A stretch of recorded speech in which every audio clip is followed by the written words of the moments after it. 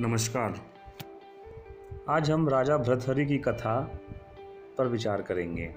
प्राचीन उज्जैन में बड़े प्रतापी राजा हुए। राजा भृतहरि अपनी तीसरी पत्नी पिंगला पर मोहित थे और वे उस पर अत्यंत विश्वास करते थे। राजा पत्नी मोह में अपने कर्तव्यों को भी भूल गए थे। उस समय उज्जैन में एक तपस्वी गुरु गोरखनाथ का आगमन हुआ। गोरखनाथ राजा के दरबार में पहुँचे। भृतहरि ने गोरखनाथ का उचित आदर सत्कार किया। इससे तपस्वी गुरु अति प्रसन्न हुए। प्रसन्न होकर गोरखनाथ ने राजा एक फल दिया और कहा कि यह खाने से वह सदैव जवान बने रहेंगे। कभी बुढ़ापा नहीं आएगा। सदैव सुंदरता बनी रहेगी। यह चमत्कारी फल देकर गोरखनाथ वहाँ से चले गए। राजा ने फल लेकर सोचा कि उन्हें जवानी और सुंदरता की क्या आवश्यकता है। चूँकि राजा अपनी तीसरी पत्नी पर अत्यधिक मोहित थे, अतः उन्होंने सोचा कि यदि यह फल पिंगला खा लेगी तो वह सदैव सुंदर और जना, जवान बनी रहेगी।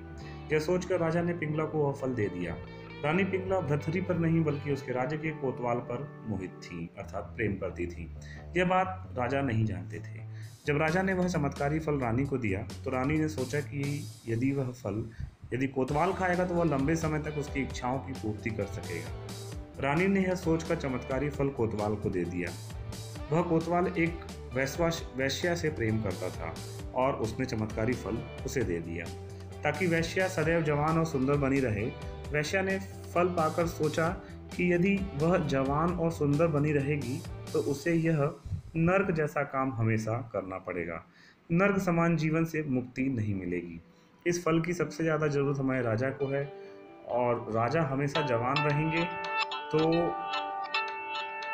लंबे समय तक प्रजा को भी सुख सुविधाएँ देता रहेगा। यह सोचकर उसने चमत्कारी फल राजा को दे दिया। राजा वह फल देखकर हतप्रभ रह गए।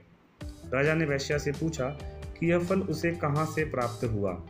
वैश्या ने बताया कि यह फल उसे कोतवाल ने दिया है। रथरी ने तुरंत कोतवाल को बुलावा लिया।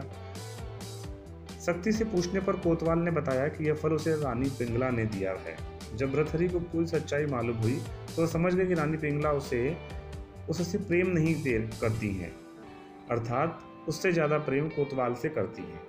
पत्नी के प्रेम के ना भाव से भ्रतरी के मन में वैराग्य जाग गया और वे अपना संपूर्ण राज्य विक्रमादित्य को सौंप कर उज्जैन की गुफा में आ गए। उस गुफा में भ्रथरी ने बारह वर्षों तक तपस्या की थी। उज्जैन में आज भी राजा भ्रथरी की गुफा दर्शनीय स्थल के रूप में स्थित है। राजा भ्रथरी ने वैराग्य पर वैराग्य शतक की रचना की जो काफ़ी प्रसिद्ध है। राजा भृतहरि ने श्रृंगार शतक की और नीति शतक की भी रचना की है। यह तीनों शतक आज भी उपलब्ध हैं और पढ़ने योग्य है। तो आपसे विनम्र अनुरोध है कि इन तीनों शतकों को आप ध्यान से पढ़िए।